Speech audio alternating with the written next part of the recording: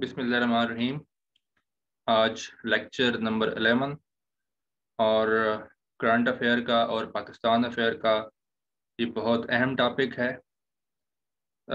ये पीएमएस और सीएसएस दोनों के एग्ज़ाम के लिए स्पेशली इंटरव्यू के पॉइंट ऑफ़ व्यू से।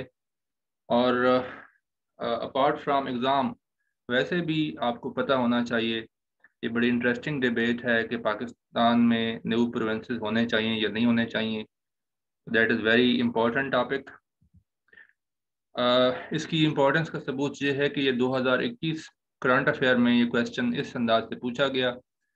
Most of the major political parties have committed to the creation of the new provinces in Pakistan should new provinces be created or not in Pakistan elaborate your answer by giving references from the new provinces debate.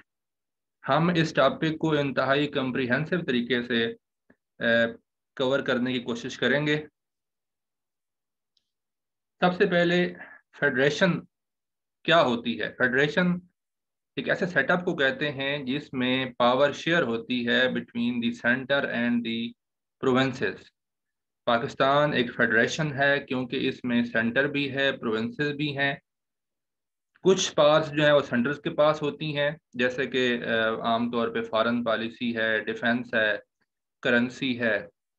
और बाकी जो powers हैं mostly वो devolve होती हैं towards provinces provinces are partially self governing units जिनको self governing units भी कहते हैं प्रोविंसेस भी कहते हैं। कहीं कहीं इनको स्टेट भी कहा जाता है, जैसे यूएस में या इंडिया में। और इसमें एक, ये प्रोविंसेस या ये जो यूनिट्स हैं, ये अंडर होती हैं सेंट्रल, फेडरल गवर्नमेंट के। और इनमें पावर की डिस्ट्रीब्यूशन ऐसे होती है, अटोनोमी का भी एक लेवल होता है और ओवरऑल एक सुपरविजन भी सेंटर की होती है। फॉर्मल डिवीज़न ऑफ़ पावर्स जिसको कॉन्स्टिट्यूशन के ज़रिए रेगुलेट किया जाता है तो ये है फेडरेशन का कंसेप्ट अब आते हैं हम इस डिबेट की तरफ़। Should there be more provinces in Pakistan I say yes अच्छा जब भी आपने अटेम्प्ट करना है पेपर तो उसमें सस्पेंस का एलिमेंट नहीं रखना, क्योंकि कभी भी आप जो है वो सस्पेंस स्टोरी नहीं लिख रहे। आप एक क्वेश्चन अटैम्प्ट कर रहे हैं तो आपने अपना जो पॉइंट ऑफ़ व्यू है, जो आपका क्रक्स है, वो शुरू में बताना है और उसको बाद में डेवलप करना है एक्सप्लेन करना है, उसको सोलिडिफाई करना है। Yes there should be new provinces लेकिन क्रिएशन ऑफ़ प्रोवेंसेस जो है, ये अलोन फिनेशियर नहीं है। हमारी तमाम सोशो इकनॉमिक प्रॉब्लम्स का, हमारे मसाइल का ये अकलौता हल नहीं है। इससे हटके सबसे अहम चीज़ है गुड गवर्नेंस जो होनी चाहिए। चाहे सूबे जितने भी हों गुड गवर्नेंस जो है वो मैटर करती है। और गुड गवर्नेंस के लिए आर्टिकल 140 ए है of the constitution of Pakistan जिसमें लोकल गवर्नमेंट इंस्टीट्यूशन का ज़िक्र किया गया है, जिसमें ये कहा गया है कि पाकिस्तान में लोकल गवर्नमेंट इंस्टीट्यूशन को होना चाहिए। इनके ज़रिए सिटीजन की ग्रीवेंसेज भी फॉल भी एड्रेस रिड्रेस हो सकती हैं इकनॉमिक डिस्पैरिटीज़ का भी खात्मा हो सकता है इंफ्रास्ट्रक्चर डेवलपमेंट भी हो सकती है और सबसे अहम चीज़ local government local government institution से सबसे अहम चीज़ जो सामने आती है वो ये है कि लोकल लीडरशिप सामने आती है, जो कि अल्टरनेटिव होती है पॉलिटिकल लीडरशिप का। अब ये article 140 A of the constitution आप मुलाजा फरमा सकते हैं each province shall by law establish government system local government system and devolve political and financial resp responsibility and authority to the elected representatives of the local governments. ये मैंने slides तमाम की तमाम डाली हैं बुलेट पॉइंट में नहीं लिखा। आम तौर पे प्रेजेंटेशन के लिए रूल ये होता है कि आपने शार्ट देना होता है, लेकिन चूँकि मेरे जो व्यूअर्स हैं, वो मोस्टली नोट डाउन करते रहते हैं इस, इन कंटेंट्स को तो ये कंटेंट आप इसको एज ए नोट्स भी यूज़ कर सकते हैं। अब कुछ मिसालें हैं।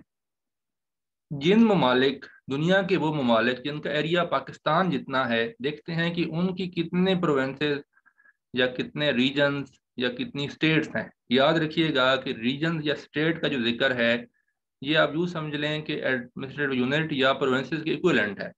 तंजानिया आलमोस्ट पाकिस्तान जितना रकबा है, इसके इकतीस प्रोविंसेस आप कह सकते हैं थर्टी वन रीजन हैं। नाइजीरिया के थर्टी सिक्स स्टेट्स हैं। वेंजुएला के ट्वेंटी थ्री स्टेट्स हैं। नबीबिया के चौदह रीजन हैं। मोजम्बी के दस प्रोविंसेस हैं। अब ये वो कंट्रीज़ हैं जिनकी पॉपुलेशन पाकिस्तान से, पाकिस्तान के अराउंड है, पाकिस्तान के बराबर है ऑलमोस्ट नाइजीरिया की 36 स्टेट्स हैं। ब्राज़ील की 26 स्टेट्स हैं।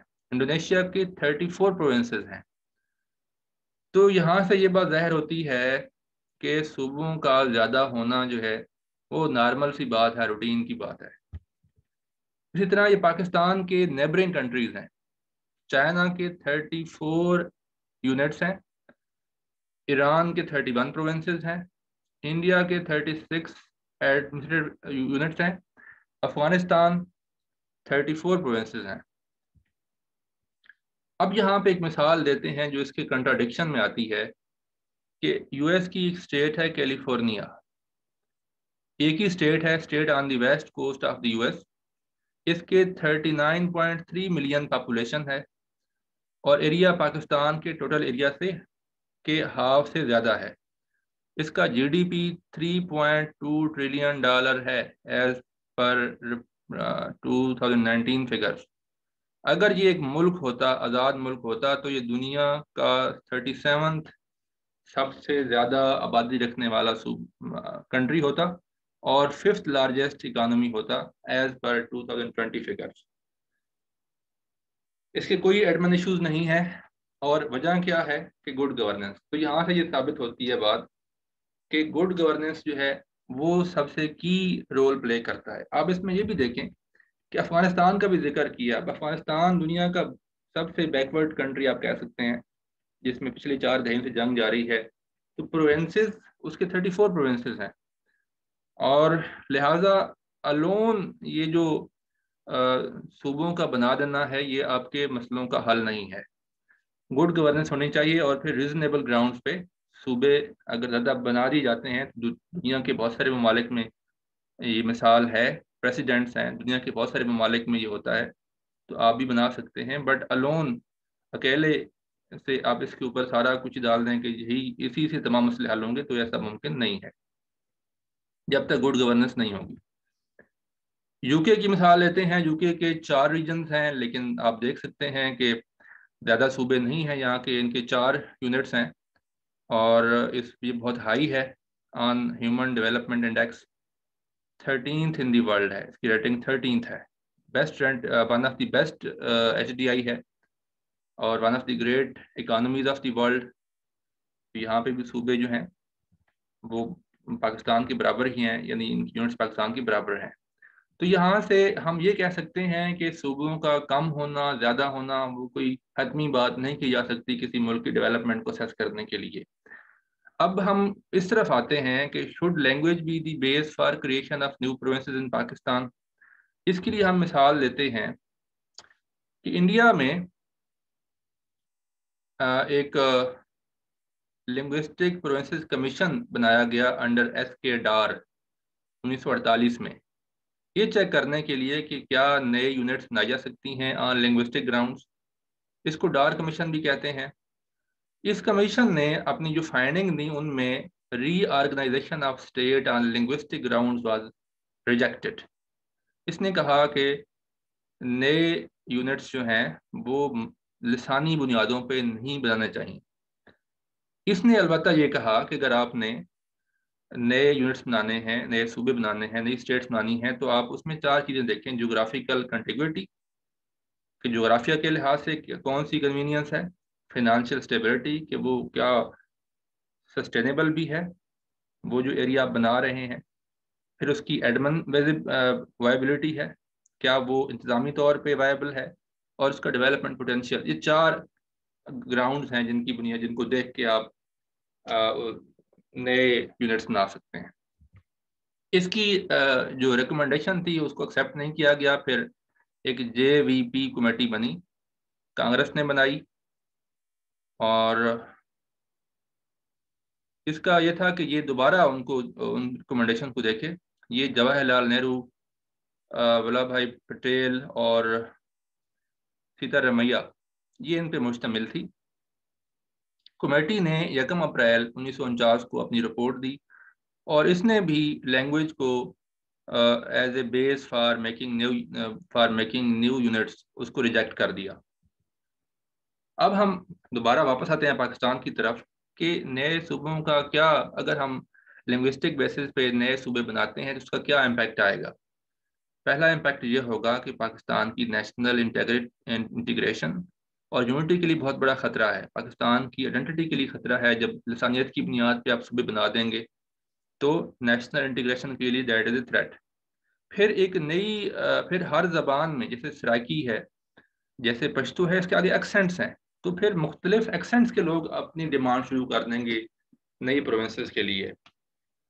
मुल्क में ज़्यादा अनरेस्ट फैलेगा और फिर इन सूबों को बनाने में जो अखराज होंगे इंस्टीट्यूशन हैं ऑफिसर्स की रिहाइशें हैं सैलरीज हैं, ये इस, ये हमारा मुल्क इसके लिए मुतमिल नहीं हो सकता। फिर हम हिस्ट्री में जाते हैं कि वन यूनिट फार्मूला क्या था? ये मोहम्मद अली बोगरा, जो पाकिस्तान के उस वक्त के प्राइम मिनिस्टर थे, उन्होंने वन यूनिट स्कीम लॉन्च की थी। 22 नवंबर उन्नीस सौ उनचास को इसने वेस्ट पाकिस्तान के तमाम सूबों को एक कर दिया। इसमें प्रिंसली स्टेट भी शामिल हो गई Khairpur Bahawalpur tribal areas west Pakistan unit बना दिया उन्नीस सौ पचपन में। और गवर्नमेंट ने ये क्लेम किया कि इससे जो एक डिस्पैरिटी है between the west and east Pakistan वो ख़त्म होगी कि दोनों इक्वल फुटिंग पे आ जाएँगे। बेसिकली ये एक पोलिटिकल सोल्यूशन था बट ये इम्प्लीमेंट हुआ अक्टूबर 14 1955 में।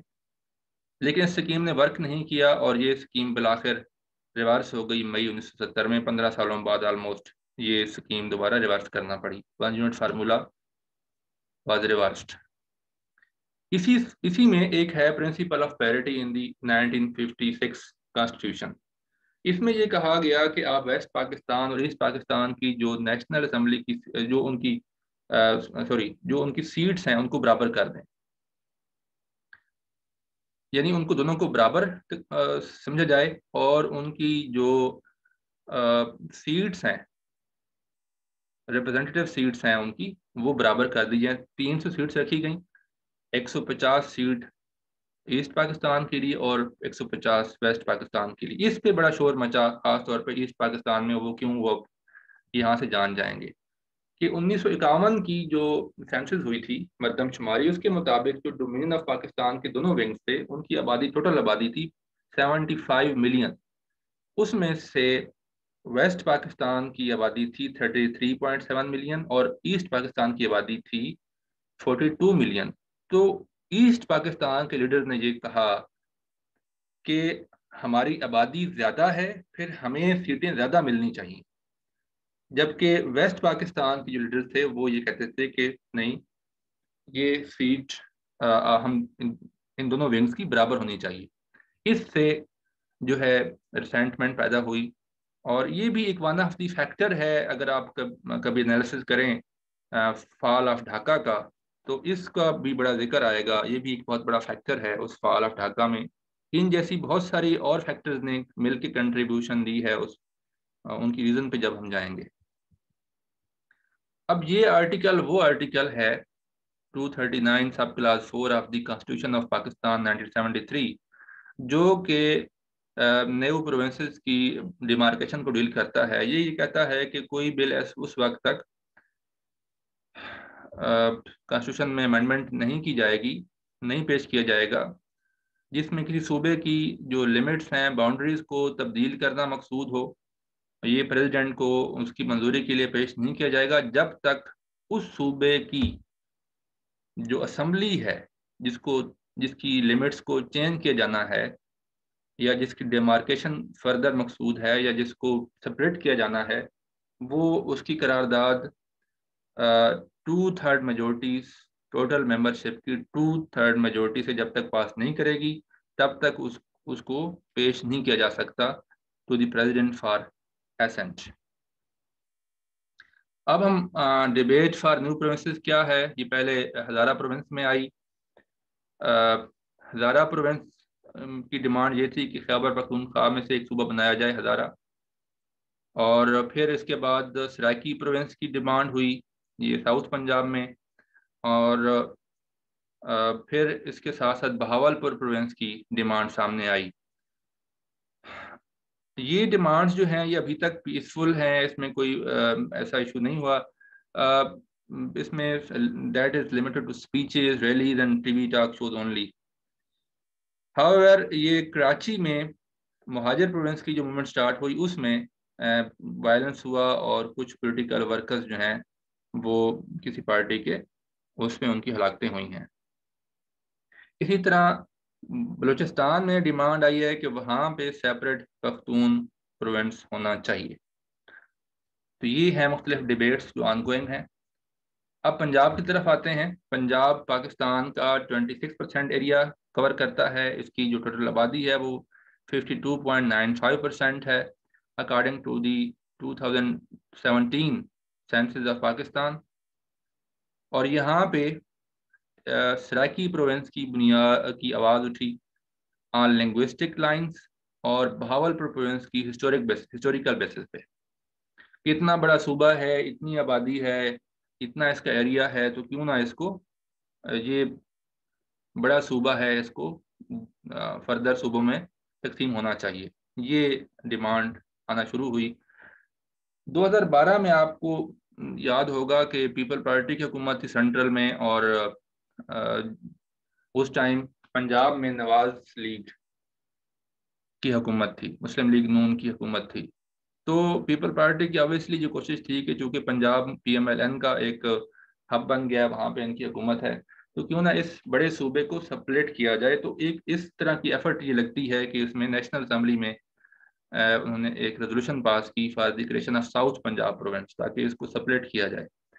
और इसने पंजाब असम्बली को भी कहा कि एक आप बिल मूव करें टू अमेंड दी कॉन्स्टिट्यूशन।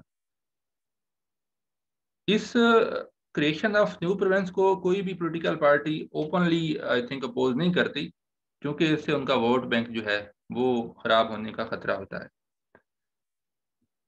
अगस्त 2012 में पार्लियामेंट्री कमीशन बनाया गया, जिसने मुख्तलिफ़ डिस्कशंस की, और इस कमीशन ने ये कहा कि बहावलपुर प्रोविंस जो है उसका ऑप्शन नहीं है क्योंकि ये कभी हिस्ट्री में प्रोविंस का स्टेटस इसको नहीं रहा। दो इट हैज़ बिन स्टेट लेकिन बहरल ये उनका आर्गूमेंट था। इसमें ये जो भावलपुर है 22 percent of the population of Punjab है और इसका पंजाब के टोटल एरिया का 10 परसेंट एरिया है। इसने ये कहा ये भी इसमें ये सामने आई बात कि अगर बहावलपुर को प्रोविंशियल स्टेटस मिलता है तो इस तरह का मुतालबा खैरपुर कलात सवात और दीगर जो प्रिंसली स्टेट्स हैं, वहाँ से भी आ सकता है। तो ये एक नया पंडोरा बॉक्स खुल जाएगा। इसलिए कमीशन ने एक नए प्रोविंस का नाम प्रपोज किया। उसका नाम जनूबी पंजाब बहावलपुर जनूबी पंजाब, इस तरह का नाम उन्होंने तजवीज़ किया। इसने तीन मॉडल डिस्कस किए। मॉडल वन ये था कि अलेवन डिस्ट्रिक्ट्स तीन डिवीज़न के, उनको किया जाए। सेपरेट बहावलपुर मुल्तान डेरा गाजी खान इसके अलेवन डिस्ट्रिक्ट बनते हैं, तीनों डिवीज़न के। दूसरा मॉडल ये था कि अलेवन डिस्ट्रिक्ट तीन डिवीज़न के, यानी भावलपुर मुल्तान डेरा गाजी खान के जो अलेवन डिस्ट्रिक्ट बनते हैं, तमाम के तमाम वो प्लस इसमें मियाँ वाली और बखर को भी डाल दिया जाए। ये मॉडल टू था और इसमें इस मॉडल टू में कमीशन ने इसके हक में बात की कि ये मॉडल ज़्यादा वायबल है। मॉडल थ्री जो है उसमें फिर Bahawalpur division as a separate province उसको डिस्कस किया गया। फिर ये कमीशन ने कहा कि ये न्यू जो साउथ पंजाब है, ये सेल्फ सफिशिएंट होगा। क्योंकि ये जो एरिया है, ये 84 percent of Punjab cotton crop produce करता है 41 percent of the wheat crop and 36 percent of the sugar फिर स्टेटिस्टिक्स हैं तीनों डिवीज़न के। ये पाकिस्तान पंजाब की टोटल टेरिटरी का 48.5 परसेंट टोटल एरिया का 48.5 परसेंट बनाते हैं। और यहाँ पंजाब की टोटल आबादी का 28.23 परसेंट लोग वहाँ पे रिहायश पजीर हैं, रहते हैं। Recently south Punjab secretariat establish किया गया है 2020 में एस पी पी ओ इसमें इसमें साउथ पंजाब सेक्रेटरीट भी है साउथ पंजाब पुलिस ऑफ़िस भी है, और बिल्डिंग्स जो हैं वो अभी अभी कंस्ट्रक्शन के मराहल में हैं। तीनों डिवीज़न इसमें शामिल हैं। बहावलपुर, मुल्तान एंड डेरा गाजी खान के अलेवन डिस्ट्रिक्ट इसमें शामिल हैं। ये एक एडमन अरेंजमेंट है, जिसने एक किस्म की वो जो बाईपास किया है लीगल कॉन्स्टिट्यूशनल प्रोसीजर को for the creation of a full fledged province ये एक इंतज़ामी सेटअप कह सकते हैं कि इसका स्टेटस अभी प्रोवेंस का नहीं है बट एक इंतज़ामी अरेंजमेंट है, जिसको आप आर्जी अरेंजमेंट भी कह सकते हैं। एक एग्जेक्टिव ऑर्डर के ज़रिए। रिसेंटली इसको इनाग्रेट किया है पीएम पाकिस्तान ने, इमरान खान ने and he hope that this decision would bring an era of prosperity and development in the region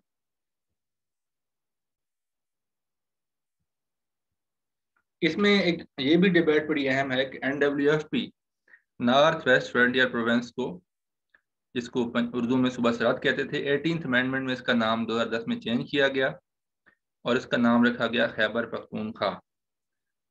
इस तब्दीली नाम से हज़ारा रीजन के लोगों ने रिसेंटमेंट उनमें आई उन्होंने कहा कि हमारी रिप्रेजेंटेशन कहाँ है इसमें? अगर आप पश्तून को रिप्रेजेंट करते हैं नाम में तो where is the representation of Hazara people या Hazara culture Hazara language Hazara ethnicity तो उन्होंने भी सेपरेट प्रोविंस का मुतालबा किया और they are the second largest ethnic group after Pashtun in Khyber Pakhtunkhwa. उन्होंने सेपरेट प्रोविंस का ये कहा कि हज़ारा डिवीज़न को ही सेपरेट प्रोविंस बना दिया जाए।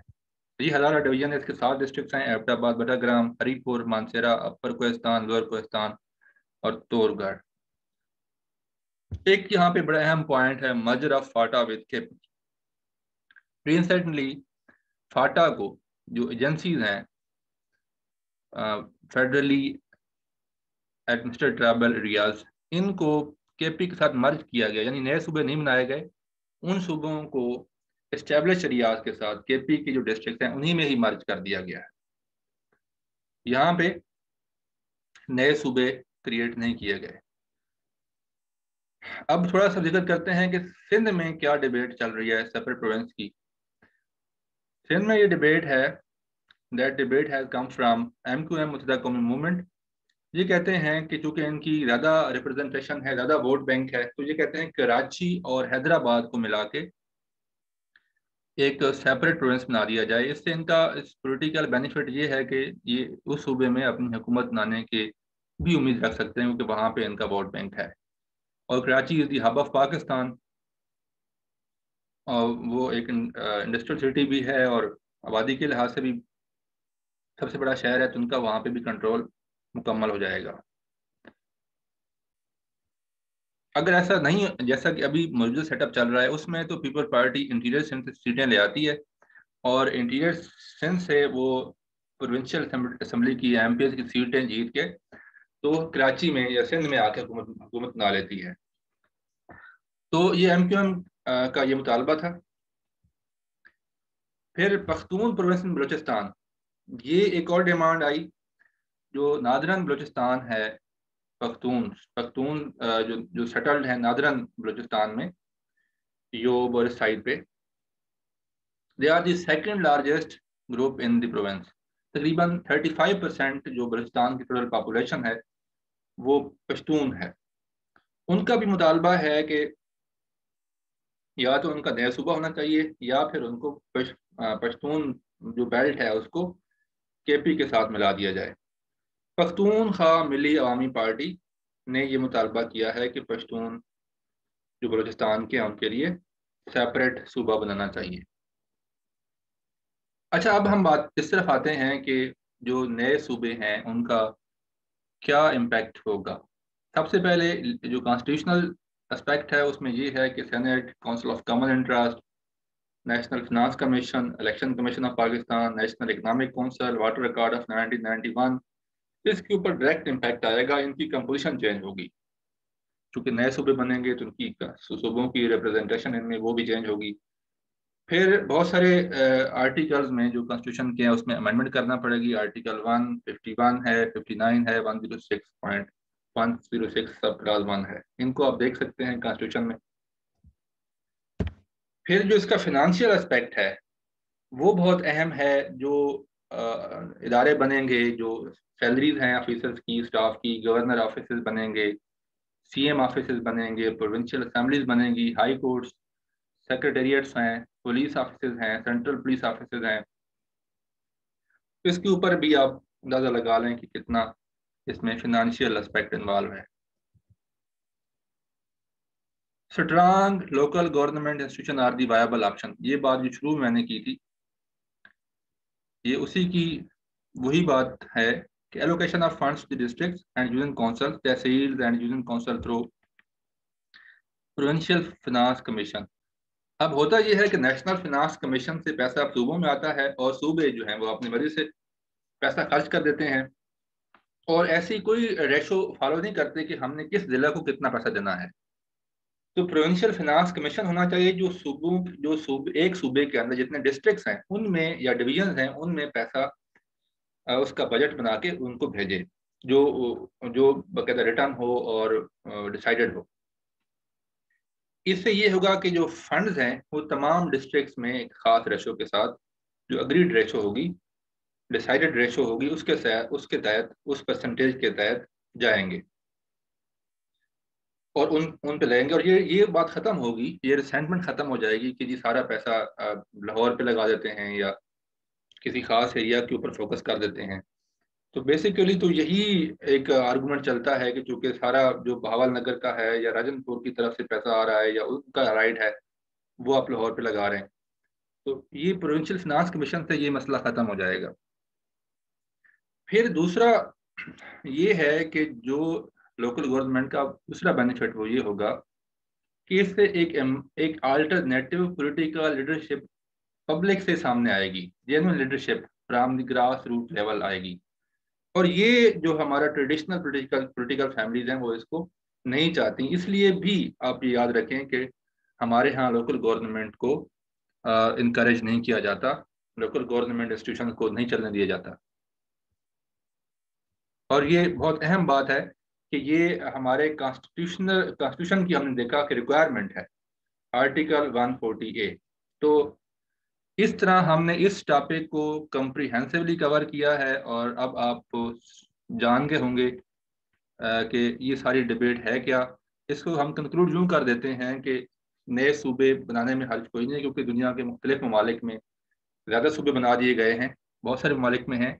But key to all these issues is good governance जब तक गुड गवर्नेंस होगी, तब तक इस एक्सरसाइज का कोई फ़ायदा नहीं है। तो बेहतर ये है कि गुड गवर्नेंस को प्रमोट किया जाए और तमाम इलाकों में जो फंड्स की फ्राहमी है, वो इक्विटेबल होनी चाहिए। बहुत शुक्रिया।